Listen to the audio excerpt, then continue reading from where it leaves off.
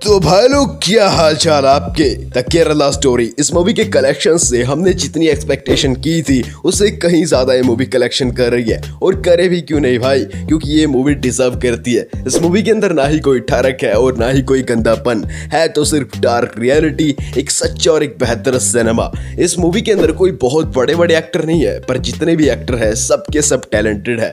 खासकर आधा शर्मा, जिनकी एक्टिंग को देखकर भाई मैं दीवाना हो चुका हूँ। दोस्तों, इसके प्रमोशन प्रमोशन पर कोई करोड़ों का खर्चा नहीं हुआ और ना ही इसका कोई बजट हाई है। लेकिन मैंने इसके कलेक्शन को आपको बता दिया तो आपके होश उड़ जाएँगे। इस मूवी को रिलीज़ हुए भी सिर्फ़ नौ ही दिन हुए हैं।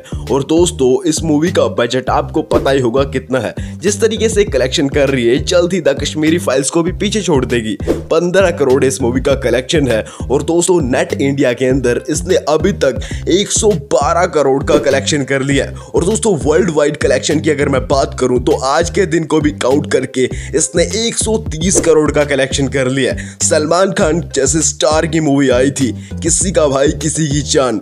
उसने वर्ल्ड वाइड 110 करोड़ का कलेक्शन किया था और इसने इतना किया भाई, उसके कंटेंट में बिल्कुल भी दम नहीं था। उसके करोड़ों रुपए खर्च किए गए थे प्रमोशन पे, वगैरह वगैरह। इतने बड़े बड़े स्टार थे। लेकिन इस मूवी के कंटेंट में दम है तो ये इतना सारा कलेक्शन कर रही है। शाहरुख खान की पठान मूवी हज़ार करोड़ से ऊपर कमा चुकी है। और ये कहना गलती होगा कि ये मूवी इसको भी पीछे छोड़ देगी या फिर छोड़ दिया क्योंकि जितना इसका बजट है, जितने दिन इस मूवी को रिलीज़ हुए हैं, उस हिसाब से इसने इसका रिकॉर्ड तोड़ दिया बहुतों की चल रही होगी इस रिकॉर्ड को सुनकर। पिछली बार एक बंदे ने मेरी वीडियो पे कमेंट भी किया था कि ये कलेक्शन फेक है। तो भाई शर्म करो। अगर तुम ही हमारी मूवी को सपोर्ट नहीं करोगे तो कौन करेगा? वैसे भी, जिसको चलना है तो चलो। भाई, ये मूवी तो और भी रिकॉर्ड्स को ब्रेक करेगी और और भी कलेक्शन करेगी। कंटेंट में दम है इसके।